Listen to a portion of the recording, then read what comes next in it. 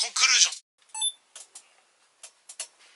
かぶんない方がいいですね。かぶんない方がいいですか？回ってるでしょ。も うあのかぶんない方がいいですね。目が隠れちゃうんで、これどっかではい。出てくるといいな何をねこれかけてはいはい。はい。はい。じゃあ引き続きあおはようございます。おはようございます。はい。神々じゃないですか。はい。じゃおはようございます。釣り子 TV ですおはようございます。えー、こもチャンネルのこもりボードです。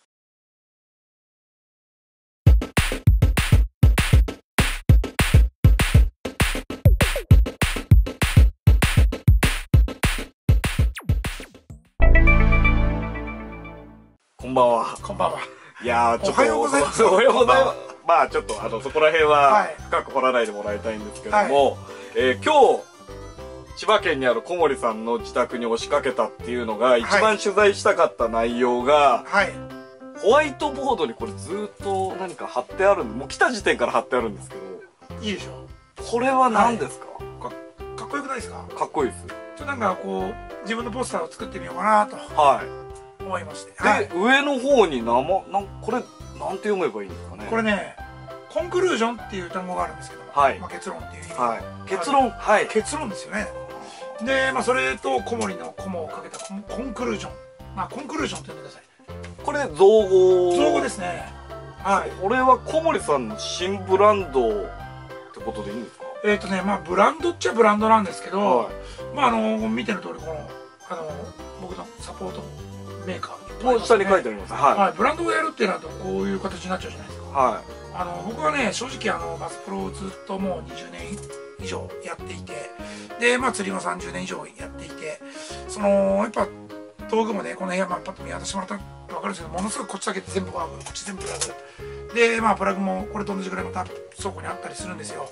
まあいろんなルアーをいっぱい試してきてねやっぱいいものいっぱいあるんですよ。で今後も投げていきたいルアーもいっぱいあるし。でいてまあそうやって見抜いていった中でまあ、何かを新しいものを作るって言ってもそんなにやっぱりこうスピーディーにものを作れないなと思うんですよね。うわこういうの作りたいなと思ってもそれ1個じゃないですか。その1個を作りたいからって言ってメーカーなんか作っちゃったら あの売るも1個しかなくて多分 稼げないですよね。でその結果なんかあの要するにあるようなものを作ってみたりとかまあその似たようなものを出してみたりとかあるいはあの同じラインナップ。例えばすっごいと作りたかったミノを作った。ハードメイトメーカーをやったからといってじゃあクランクベイトもなきゃダメだとかバイブレーションもなきゃダメだとか言ってよくあるようなラインナップ揃えていくっていうのはちょっと面白くないんですよね。あのーまあ、これ以上ルアーが増えちゃうだけになっちゃうんで正直嫌だなっていうのがあってね。であとはまあもう一つはあのーやっぱり、えー、と僕はフィールドでやっぱ使い手としてやっぱりその極めていきたい。アングラーとして極まっていきたいっていうのがずっとこれがバスプロになった時からの夢で。その作り手として極まっていきたいとかいうよりも見極める側として極まっていきたいなと思ってたんですよ。それもあったんでブランドを立ち上げる。まあ正直そういう流れにじ、まあ、バスプロの流れがなってる中でもやっぱりそこに落ち着きたくないなっていう自分がちょっとあったんですよ。だからまあもちろんそういう中でも作りたいものがいっぱいあってブランドやられてる方とかそのメーカーを、まあ、作りたいものがなくてもメーカーを起こしてメーカーとして有名になりたいっていう方もいると思うんで、まあ、そういう人たちを否定してるわけではないんであのそれは誤解のないように。小森さんのスタイルとしてはもはい。うどちらかというとテスター道というかそのそうですね。テスターというかもう使い手として。使い手として。使え釣れるかつ釣れないか分かんないものをテストするのは嫌いなんですよ、はい。釣れるものを使って魚を釣っていきたいっていうまあすごいわがままに聞こえるかもしれないですね。ただ魚が釣りたいだけかもしれないですけどでそれを分かりやすくプロモーションしていくっていそうですね。はでそれをやってるとやっぱりちょっとバラバラになってしまうところがあるんですよね。コンクルージョン。例えば僕見て今これメガバスのシャツいますけど、メガバスの小森です、でまああの音のシャツはゲイリー山本。ゲイリー山本の小森です、でまああるいはあのアブ・ガルシアのまあパッケージングされた番組でアブ・ガルシアの小森です。えーまあ、あるいはエンジンの小森です。GPI の小森です。ラインシスの小森です。まあいろんなメーカーさんからサポートいただいて僕っていう、まあ、プロが活動できていて。で、まあ、僕もこのあのいただいてるメーカーはとてもその自分が納得いく道具使っていてストレスなくあのまあ、楽しく釣りができる道具を、まあ、提供してくださってるメーカーなので、まあ、一緒にさらにいいものを作っていったりとかして、まあ、つながっていってるんで決してそのどこどこの何々って言われることが嫌ではないんだけどこれはどうしてもプロモーション上バラバラになっちゃってるんですよね。まあまあまあそう。はいはい、うん、まあまあその中にはとても大人の事情もあったりもして、はい、あのどうしてもゲイリーの小森さんって言ったところでは アブの仕事はもらえないわけじゃないですか。まあそうですね、まあとはいえ全社やっぱ関わりながらやっているんで、はい、やっぱり同じように僕はその時一番いい、えっと、プロモーションをして一番いい結果を導き出したいと思うんですよ。でまあアブのリールにラインシステムのラインが巻いてあってその先にエンジンの針にゲイリーのワームがついてる。あるいはメガバスのルアーがついてる。でまあその状態が小森嗣彦なわけじゃないですか。でそれを一つに表現しようとした時に、えー、小森嗣彦が使っている、えー、あるいは小森嗣彦プロデュースってそういう言葉でいくとどうしてもトーンが変わってきちゃう。メーカーの色によって。なのでちょっとコンクルージョンというところでプロモーションを統一しようかまあ分かりやすく言うとプロモーションプラントですえー、っと何か出すんですかってよく聞かれるんですけど、はい、なんか出すかもしれないですけど、まあ、こういう帽子とかね、はい、こういうあのクリアファイルとか、ね、はい、こういうメーカーをやるつもりはないですよ。クリアメーカーに特化したブランドなんか。え いやいやこれは、単純にあの、イベントとか、そういうまあ、集まった時に皆さんにお配りしようと思って。でその例えばポスターが中に入っていたりして、はい、まあポスターほら言わなければこれもらったら何だか分かんないじゃないですか。分からないです。だからちょっとポスター。いや今すっごい熱く説明してもらったんですけど、はい、まだに実態がよく分かってない。コンクルージョン正直言いましょう。僕もねはっきり言ってちょっと半信半疑なんですよ。ただ一つ、はい、バスプロってとっても今本当の話を言うと、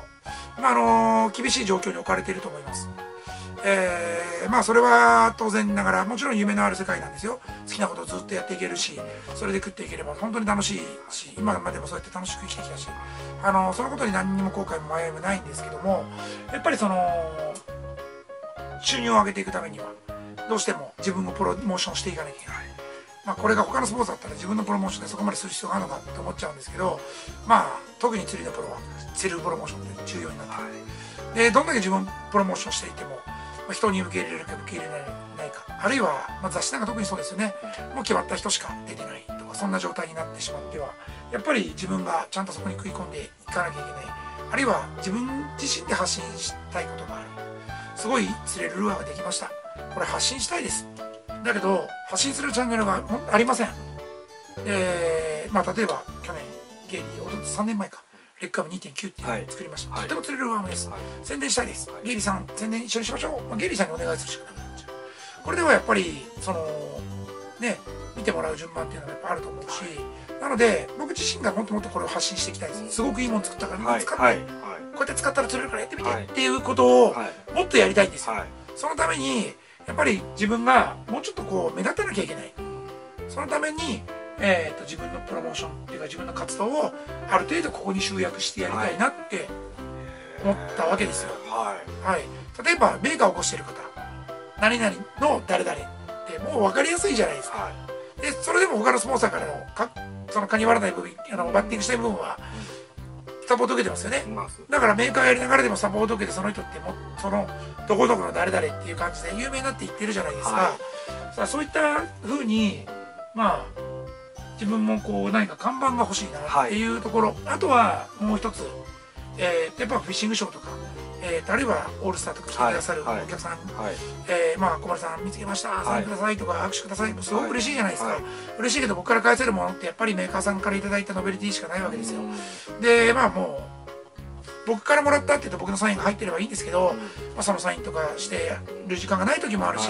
本当にパッとこうステッカー1枚あげてそれがまあ小森からもらったって言ってずっと持ってもらえるためにはやっぱ何かしらカラーが欲しいなって、はい、それがずっとあったんですよね、はい、でまあ去年からちょっとステッカーとか作って配ったりしたけど、はい、やっぱなんか看板になる言葉が欲しいな。っ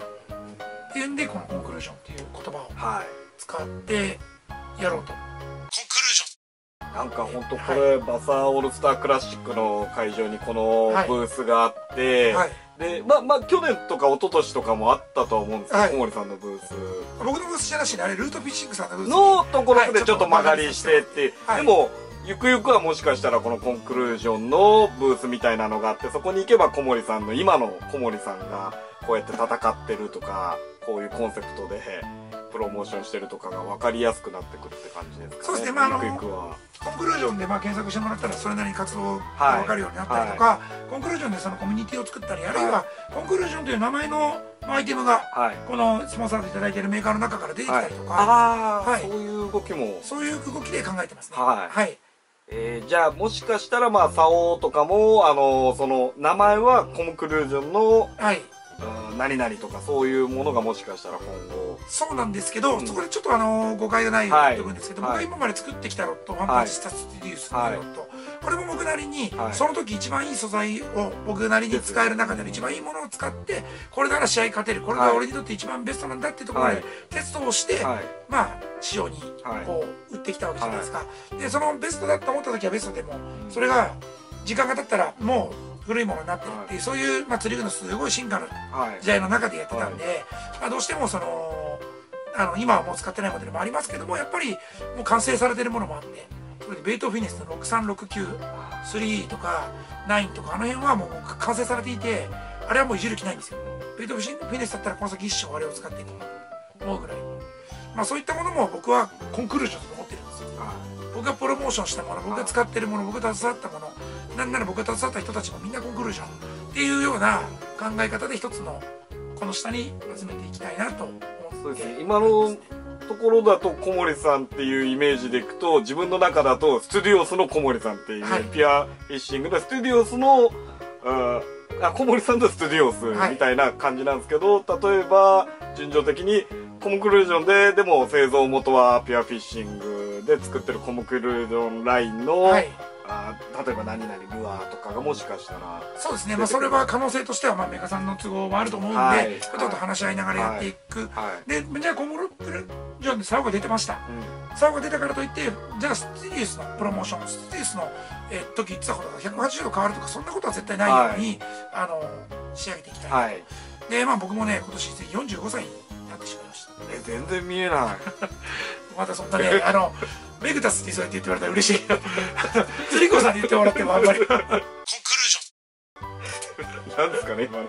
全然見えない。とりあえずなんかそういう感じで言わないとダメなのかなと思って。いやいやちょっと45になってしまって、はい、えっ、ー、とワールドシリーズに上がった時は最年少で上がったんですね、まあ、それこそ今の藤田君とかと一緒ですよね。23歳で上がって最年少で上がってきたって言って。まあそんでまあ注目もされやってきてる。僕がもう45歳。で、まあ正直まあ、